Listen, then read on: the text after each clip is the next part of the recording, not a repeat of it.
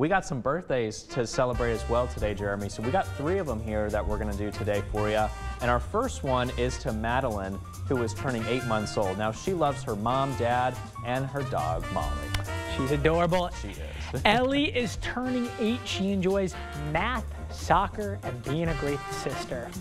Alita is turning 88 today. She taught third grade for more than 30 years and is still teaching friends and family today.